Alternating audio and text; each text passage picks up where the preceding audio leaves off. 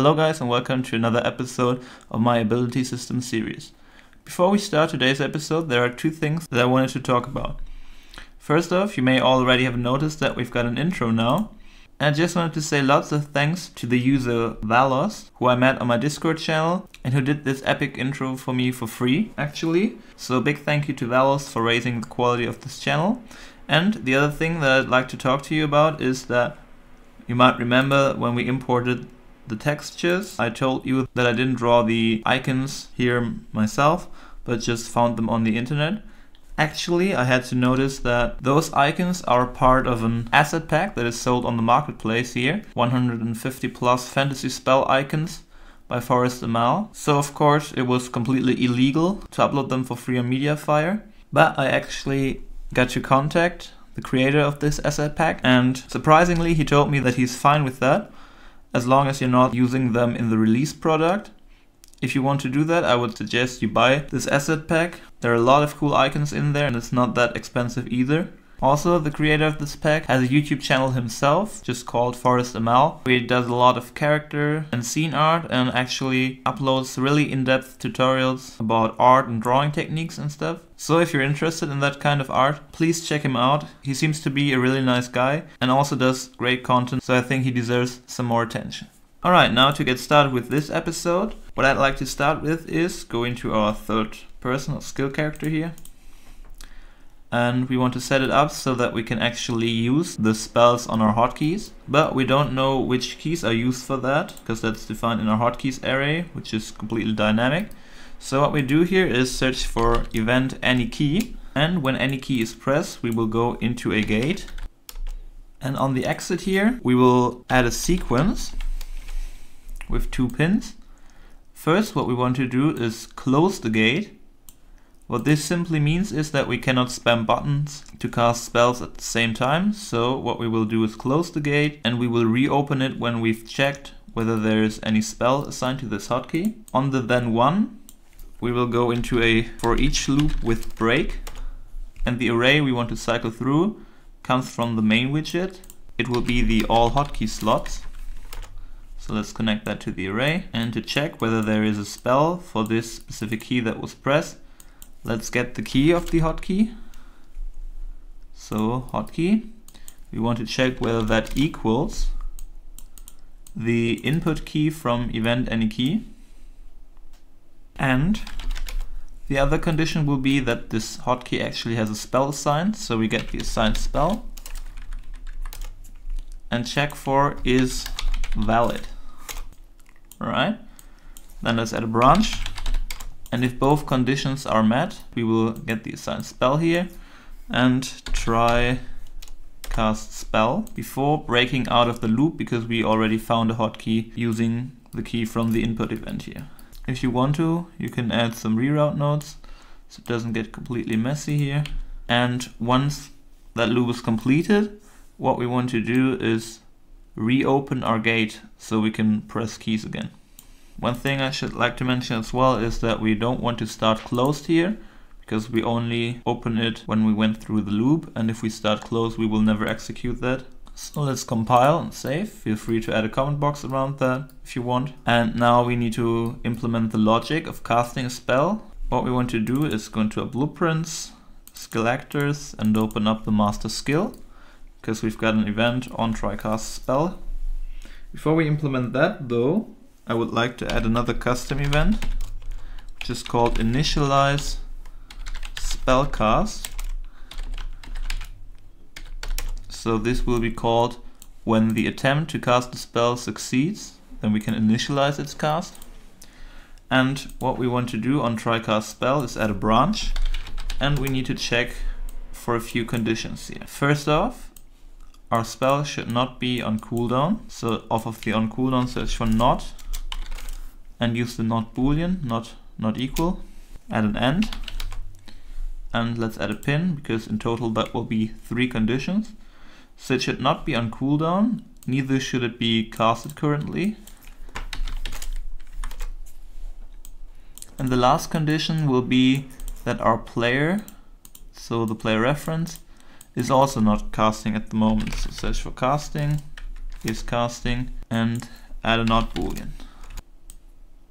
Then connect the end to the condition. And if all of those booleans here are false, we can initialize the spellcast.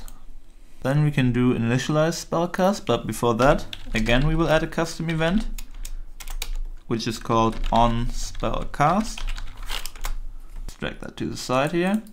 When we initialize the spellcast, we need to check for another condition, that is that our player has enough mana to cast the spell. Let's search for an if statement or a branch and drag in the player reference, get stat. Stat here will be mana, then break it, and we only want to see the current value. Alright, current value. We want to check whether that is greater or equal to the current stage, and there we want to break it as well, and we only want to see the mana cost. So do we have enough mana to cast the spell? Let's add that to the branch. If not, let's just print out a string. Not enough mana left to cast this spell. And maybe make that red. Duration of 1.5 seconds. If it's true, however, we can set currently casted to true. Get the player reference and call on begin spellcast or just begin spellcast.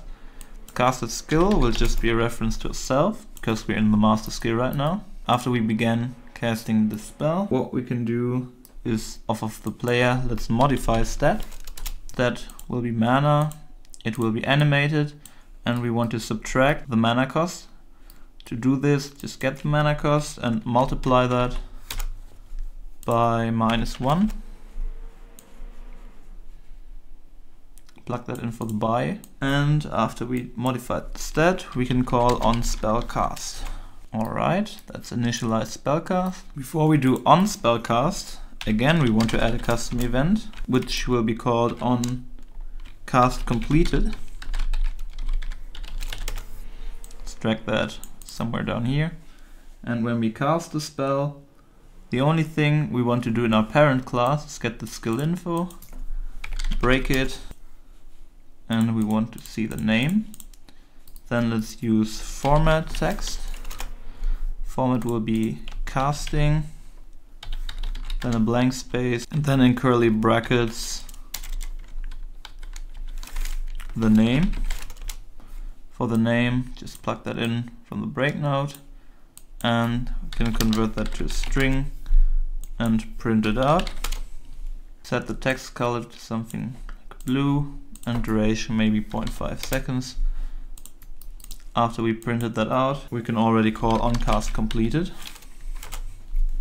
And actually this onSpellcast event is the only thing here that you need to override when you create different types of spells. Before we do onCast completed, Again, another custom event called on cooldown expired, which we will call in on cast completed. So we need to create that first. And in on completed, let's get the player reference here. And we want to call end spellcast. Casted skill is a reference to ourselves. Then we can set on cooldown to be true. And actually, let's just print out a string spell on CD cooldown. Also only duration of 0.5, maybe red something. Then we can set currently casted to false. And let's get the hotkey, check if that's valid. If not, we don't need to do anything. But if it is, let's get the skill button and set is enabled to be false get its skill icon and we want to set the color and opacity of that something like a gray to indicate the spell is currently on cooldown. Or you can get that it's just for R, G and B I'll type in 0.33 that will give you something like a medium to dark gray. Okay. Also let's get the cooldown material. And we want to set scalar parameter. Parameter name will be percent and the value will be 1. Also let's get the cooldown image and off of that let's set the visibility to hit test invisible so we can see the cooldown but our cursor won't hit it. Then get the cooldown text Let's also connect that to set visibility, so we also show that. And we also want to set the text of this. Maybe let's rather do that before we set the visibility. So you don't see it and then it updates, but it updates before it's visible. Text here will come from our current stage that we need to break. And let's show cooldown only. Then let's convert that to a text we don't want grouping. Now for how we will handle the actual cooldown, we won't use a delay node or a timer, we will use a timeline. So add timeline called cooldown timeline and we will just leave that empty because we don't know about its length yet. The length of it will be the cooldown. So what you need to do under components, drag in the cooldown timeline, and set timeline length to the cooldown. And we will also do that if our hotkey is not valid. After we set the timeline length, we obviously want to play it from start. And now for what happens when it updates, again check if there is a valid hotkey that is assigned. If not, we don't have to do anything. But if so, Let's get the cooldown material because we need to update the percentage there. Set scalar parameter value, name being percent. And to figure out the value, what you need to do is drag in the cooldown timeline, get the playback position, so where is it currently, and divide that by the length of the timeline to get the percentage that was already played. And since we start with the percentage of 1 when nothing of the cooldown has expired yet, we need to subtract float and we will subtract what we have here from 1 to get our new value. Then off of the hotkey we also need to update the cooldown text. So set text and for the in text, we will convert a float to text, to text float, right? Expand that. Rounding mode will be half to even. We won't use grouping. And the value will simply be the length of the timeline minus the position, which means that will be the rest that is yet to be played. Plug that in for the value. And one thing that is really common for displaying cooldown is that you usually just show the seconds left. So 4, 3, 2, 1 second left. And for the last second, you will see it like 0 0.9, 0 0.8 and so on. So what we need to do is modify this maximum fractional digits and let's use a select node based on whether the timeline length minus the playback position is greater than 1. Plug that in for the index. If it's false, so means it's less than 1, then we will use one fractional digit. But if not, we will use 0. actually collapse that then. And let's go back to where we set the text here, because here we don't want any fractional digit at all, so just set that to 0. Right, so that's it for updating it. Once our timeline has finished playing, we can call on cooldown expired, and save. And in on cooldown expired, we will set on cooldown to false obviously, get the hotkey, check whether it's valid again. And if it is, let's get the skill button and re-enable it. So set is enabled back to true. Also, our skill icon should not be grayed out anymore. So let's get the skill icon. Set color and opacity to a white with an alpha of 1. One thing I forgot here is if the hotkey is valid indeed, we need to check for another thing. And that is whether it's deactivated. So let's add a branch after the is valid. And if that's false, we will do what we added before. If the cooldown expired, but the key was deactivated because, for example, we are casting another spell at the moment, the skill button should not be re-enabled and will still be grayed out. And what we want to do afterwards is off of the hotkey, get the cooldown image, get the cooldown text,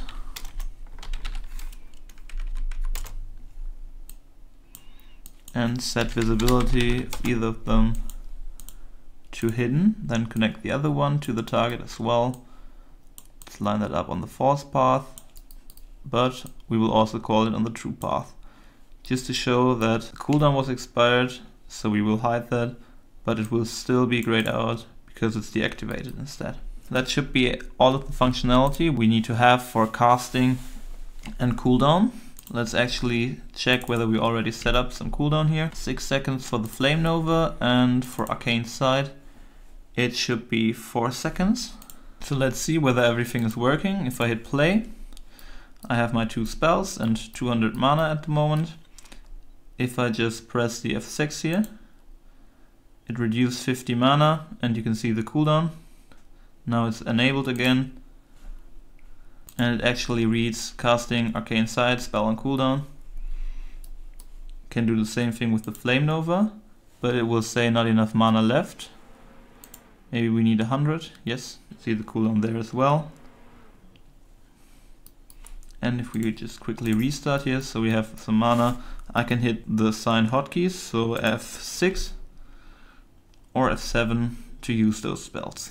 Alright, that's working perfectly fine. Thank you for watching and in the next episode we will handle dragging and dropping spells to sign them to different hotkeys. See you in the next episode.